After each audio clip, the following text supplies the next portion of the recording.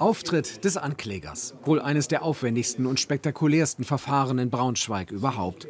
Entsprechend groß die Anspannung. Den Angeschuldigten wird in der Anklage insbesondere vorgeworfen,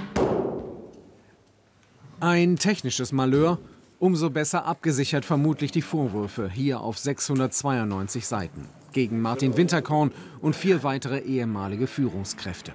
Es geht um Betrug und unlauteren Wettbewerb. Bei Winterkorn kommt noch etwaige Untreue hinzu. Weil er es seit dem 25.05.2014 als Garant unterlassen habe, nach Kenntnis der rechtswidrigen Manipulationen an Dieselmotoren diese gegenüber den Kunden und den zuständigen Behörden in Europa und den USA offenzulegen. Winterkorn soll also seit 2014 vom Betrug gewusst und nichts verhindert haben. Das ist der Kern der Vorwürfe und doch werden sie von jeher bestritten. Und wir werden alles tun, um Schaden von unseren Kunden und Mitarbeitern abzuwenden. Ich gebe Ihnen mein Wort. Was die Ankläger unterstellen, Winterkorn sei 2014 hausintern unterrichtet worden über die erhöhten Abgaswerte in den USA. Die Verteidigung kommentiert das nicht. Die Staatsanwaltschaft erschwere die Akteneinsicht.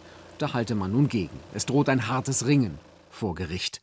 Zitat: Die Verteidigung wird sich auf diese Gangart der Staatsanwaltschaft einstellen. Und in Wolfsburg? VW erklärt die Anklage zur Privatsache und vor dem Werkstor scheiden sich an Winterkorn die Geister. Ja, weil garantiert Dreck am Stecken, Stecken hat, denke ich mal. Ne? Ich ähm, bin trotzdem dankbar dafür, was er ähm, hier dem Werk, äh, fürs Werk alles geleistet hat. Er hat ganz viele Arbeitsplätze geschaffen und äh, der Rest, was Wahrheit ist und nicht, finden wir eh nicht raus. Der Dieselskandal. Die nächste Folge. Die Klage der Staatsanwaltschaft muss vom Landgericht zugelassen werden. Mein Kollege Thorsten Habke ist im Studio. Er ist unser VW-Experte. Thorsten, bisher galt Winterkorn ja als unschuldig. Auch der Aufsichtsrat hat ihn als unschuldig verabschiedet. Wie kommt es jetzt zu dieser Anklage? Ja, die Staatsanwaltschaft hat ja dreieinhalb Jahre ermittelt und sie haben in der Tat Indizien und Aussagen gesammelt, die für sie ein anderes Bild zeichnen. Muss man ehrlicherweise sagen, das ist ein bisschen kompliziert. Also es gibt nicht den einen Vorstandsbeschluss, die eine Kernaussage, das Dokument, was äh, zweifelsfrei belegt, Winterkorn muss etwas gewusst haben, sondern es ist mir so ein Puzzle, was zusammengesetzt wurde, aber ein Puzzle, was eben für die Staatsanwaltschaft dazu führt, dass man sagt, eine Verurteilung ist wahrscheinlicher als ein Freispruch. Das ist ja die Hürde, die man nehmen muss, wenn man Anklage erhebt.